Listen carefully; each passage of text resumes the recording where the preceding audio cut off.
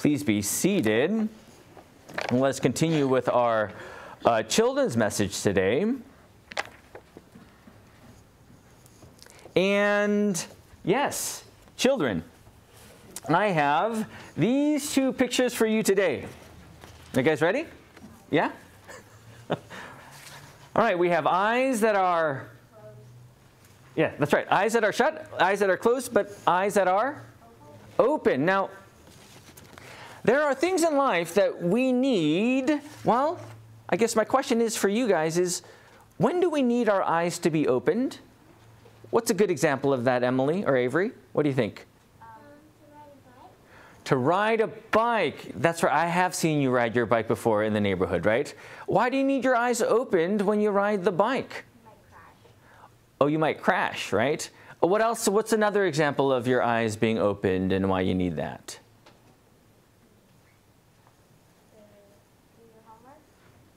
To do your homework. Do you do your homework eyes closed?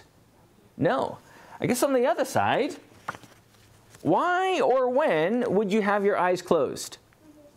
When you're sleeping, right? Do you need sleep? Yes. Is there any other time that you close your eyes? Good. Confirmation Emily is up to bat. That's very good. That's very good. Yes, we pray with our eyes closed and we sleep with our eyes closed.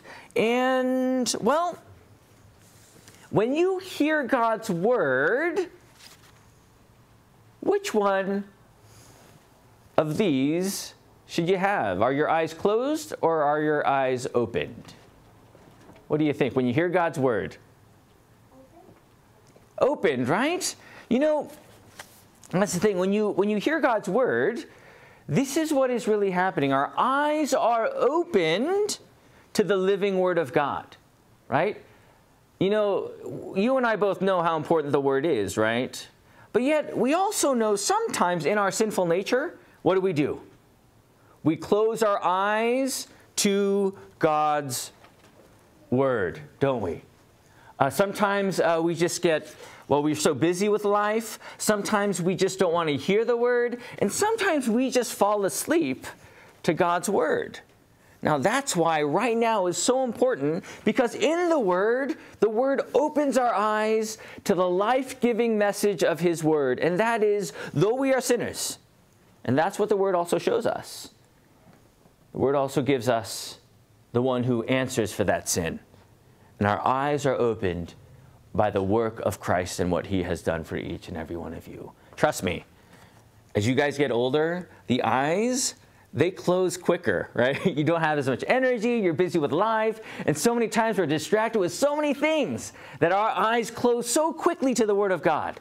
And that's why when we're here together, as we hear God's Word, there are our eyes open that Jesus Christ died for you, and that He rose for you, and that He forgives you of all your sins. I want you to remember that this day, knowing full well that by this very Word, you have life in His name as He opens your eyes to this very faith. Let us pray. Heavenly Father, we thank you for this day. We thank you uh, for your word. Lord, we thank you for uh, blessing us in this time to open our eyes to the life saving message of Christ. Lord, guide us in the one true faith. Comfort us and, and lead these children always as they grow in your name. Lord, for all these things we're thankful. We pray this in Jesus' name. Amen. Uh, let's continue